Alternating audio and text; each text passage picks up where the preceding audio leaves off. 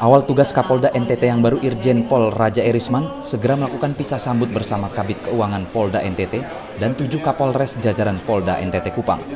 Kabit Keuangan Polda NTT dari Kombes Pol Teguh Slamet Karyon beralih ke AKBP Sofian Tanjung yang sebelumnya bertugas di Irbidops Itwasda Polda Aceh.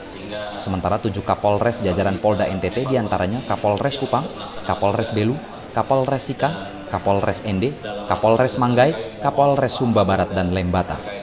Kapolda Irjen Pol Raja Erisman mengatakan adanya rotasi atau penyegaran jabatan sejumlah Kapolres jajaran Polda NTT tersebut sesuai dengan sistem yang ada di institusi Polri. Kapolda juga meminta dengan adanya rotasi jabatan ini, para Kapolres diminta agar konsisten terhadap pelaksanaan program kerja.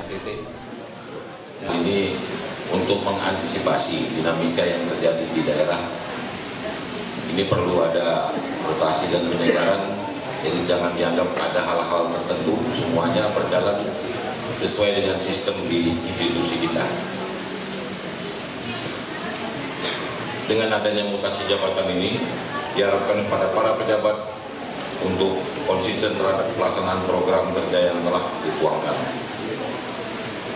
Sehingga dapat berjalan secara efektif, efisien, tepat sasaran, serta menumbuhkan tingkat kepercayaan masyarakat dalam melaksanakan tugas pokoknya sebagaimana yang diamankan oleh Undang-Undang Nomor 2 Tahun 2002 tentang Kepolisian Negara Republik Indonesia.